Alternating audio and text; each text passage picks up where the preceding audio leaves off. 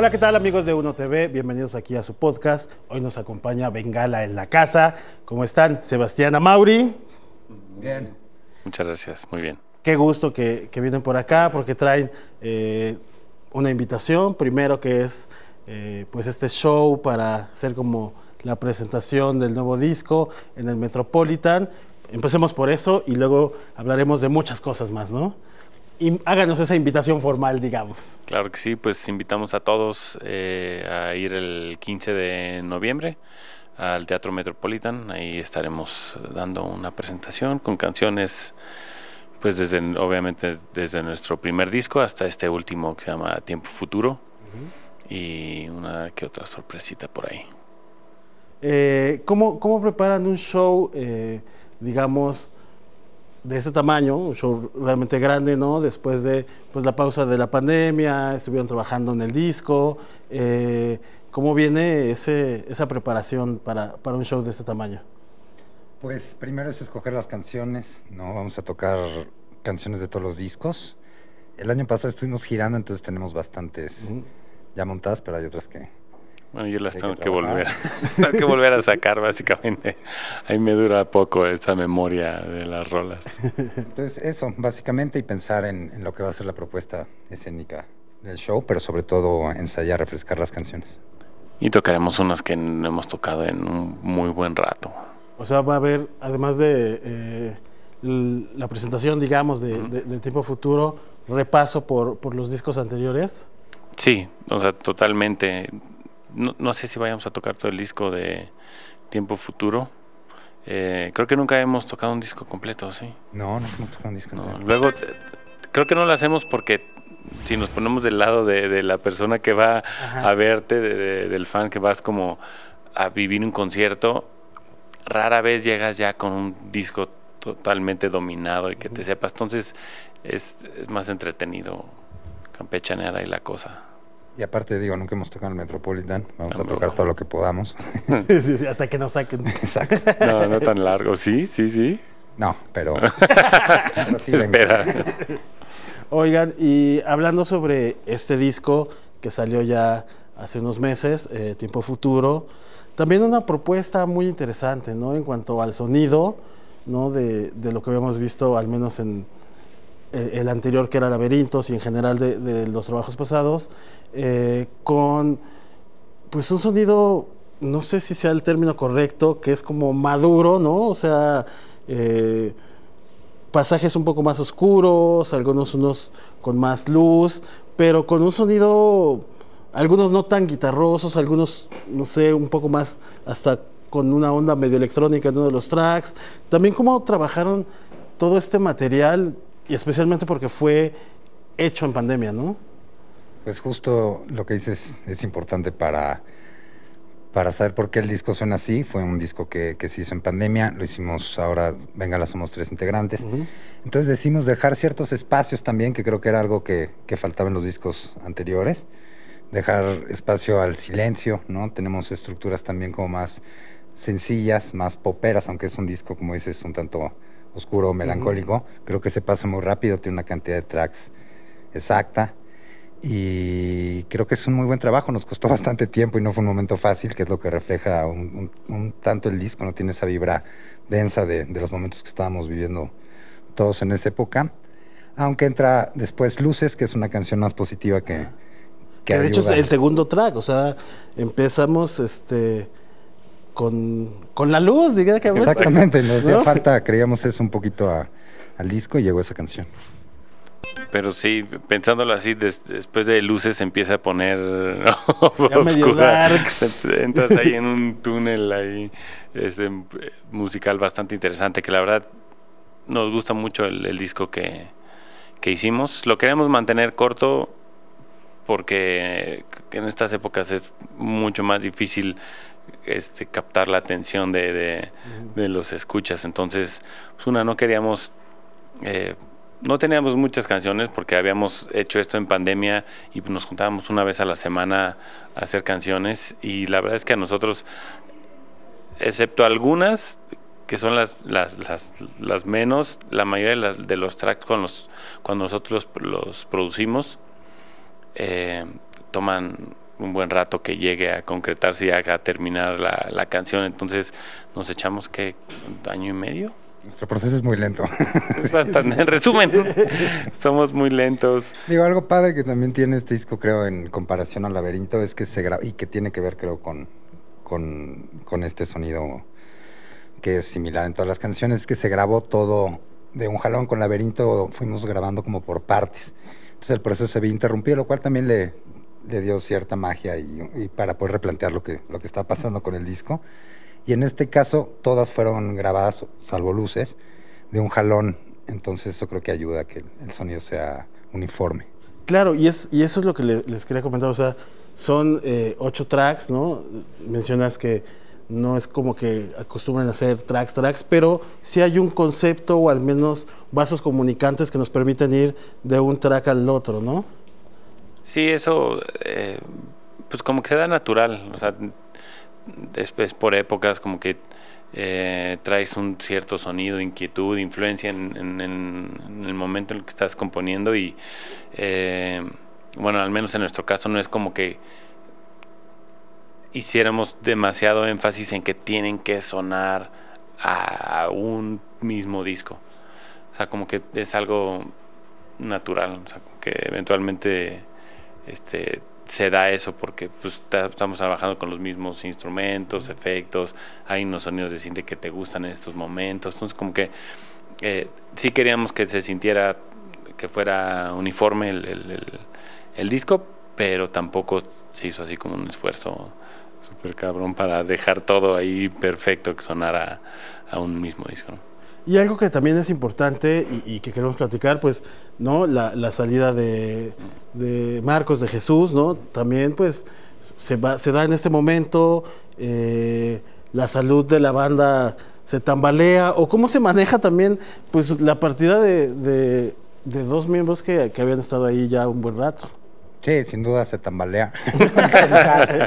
y en general el mundo, ¿no? Teníamos el 2020 lleno de fechas, era que pretendíamos hacer este teatro Metropolitan en el 2020 y entrando la pandemia ellos deciden salir y nosotros pues sin tener mucho que ver hacia futuro, pues decidimos seguir trabajando, como dice Sebastián, semanalmente en medida de lo posible cuando, cuando no nos tenían tan encerrados y cuando nos sentíamos confiados de, de vernos.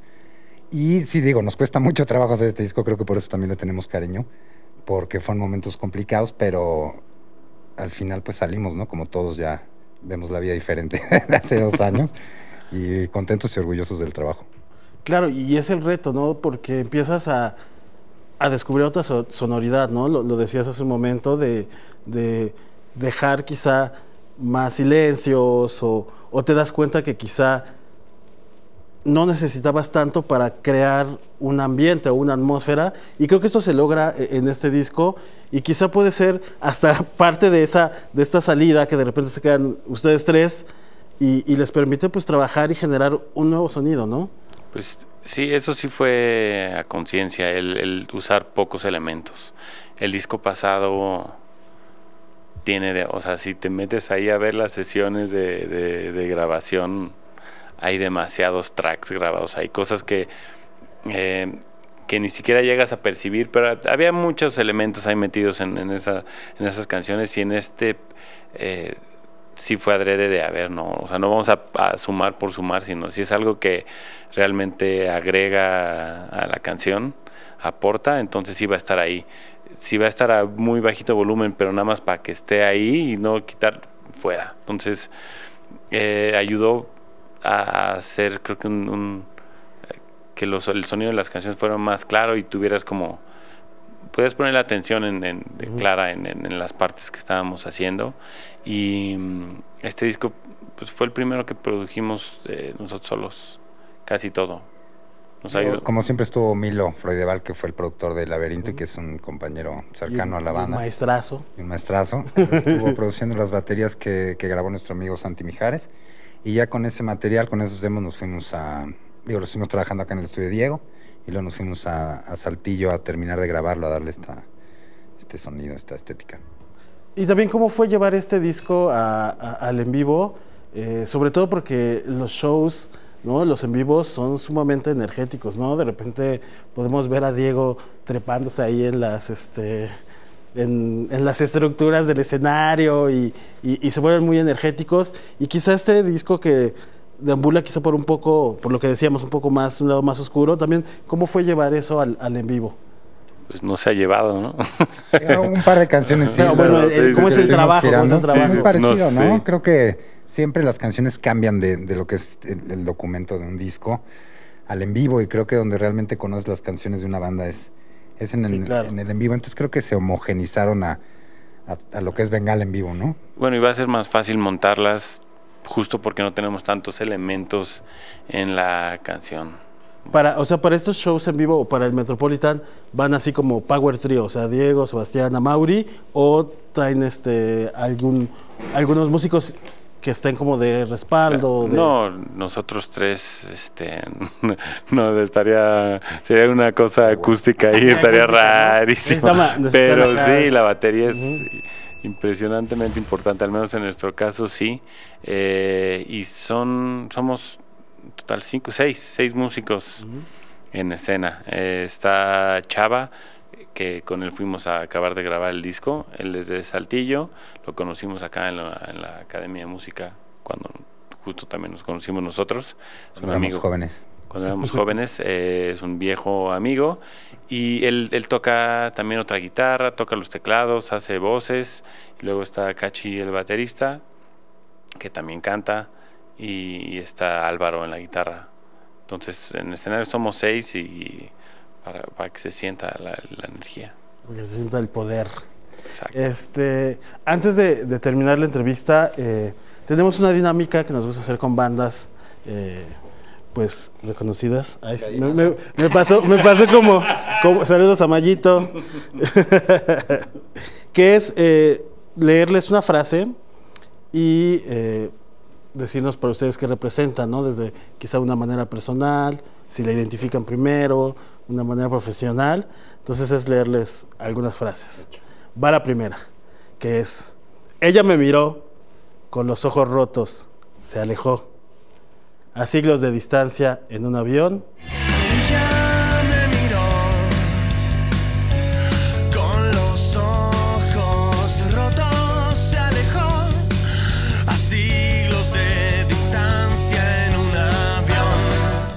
¿Qué, te respondo? ¿Qué te Bengala es una canción de nosotros. Sí. Ah, es de Bengala.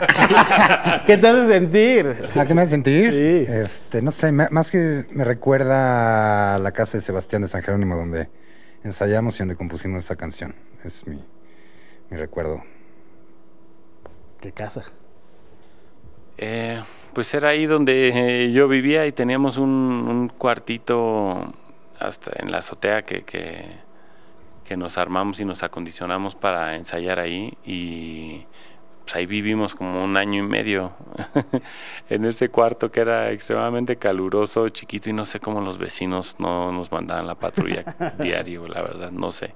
A lo mejor les gustaba lo que escuchaban, seguramente. Pero estamos ensayando, son Y a ustedes les gustaba lo que Ensayar nunca es chido, o sea, que alguien escucha a alguien ensayar. No, y repetir la misma canción, la misma parte así, una y otra vez, no, no, no no creo que les hayan faltado ganas, la verdad. Y la siguiente, que esta es eh, más contemporánea, digamos. Respiren que hay viento y extiendan sus alas. Hay luces y hay sal. Respiren libres, lloremos al volar.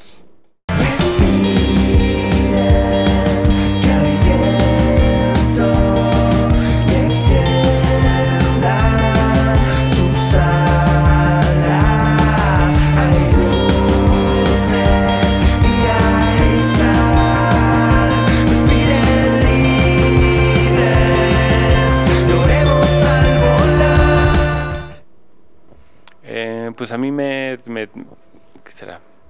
Me evoca los sentimientos de esta canción, que, es la última que hicimos para el disco y que se hizo de una manera distinta a todas las canciones que ha hecho Bengala.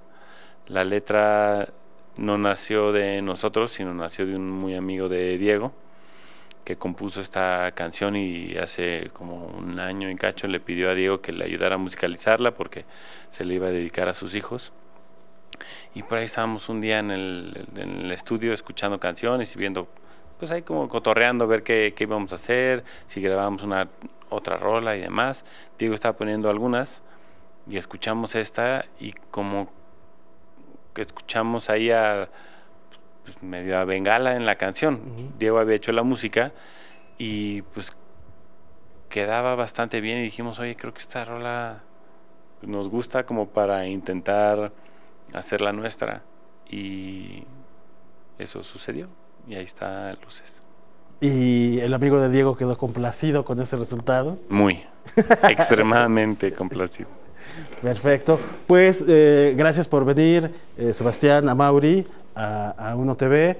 Y pues tenían una sorpresita por ahí o no?